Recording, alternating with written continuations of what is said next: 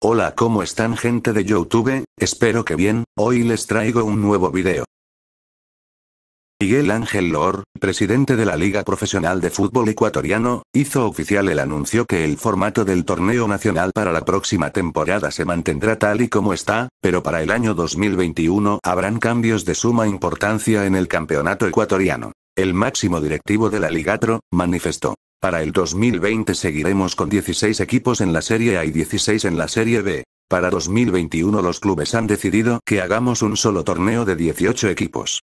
Trabajaremos junto a la Federación Ecuatoriana de Fútbol para hacer un torneo de Serie B con los equipos restantes, dijo el directivo a los medios y se ratificó esta información en la cuenta oficial de la Liga Pro. Cabe destacar que al final del 2020, el 15 y el 16 de la Serie A, jugarán un playoff contra el tercero y el cuarto de la Serie B, para determinar quiénes juegan el torneo de 18 clubes en el 2021.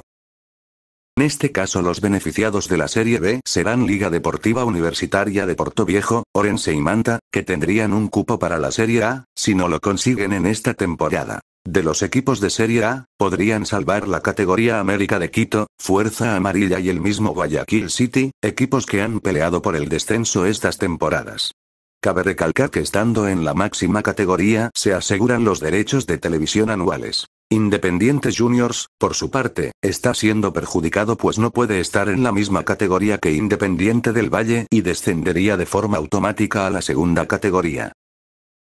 En mi opinión, considero que no es necesario incrementar más equipos en un campeonato, pudimos presenciar este año que el formato de juego no fue el ideal, en todo el año se pudo apreciar estadios vacíos, con poco interés por parte de los hinchas, recién en los playoffs las personas comenzaron a demostrar más interés en el campeonato, pero los estadios no se llenaron por completo. Hay varios equipos que no dan la talla para jugar un torneo de Serie A, no cuentan con los suficientes recursos para mantener al día el pago a sus jugadores. Amigos, no necesitamos cantidad, sino calidad.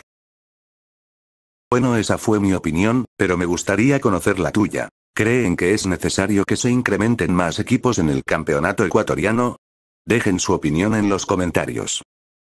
Y bueno amigos, hasta aquí el video, espero que les haya gustado, dejen su like, activen la campanita, y suscríbete, hasta la próxima.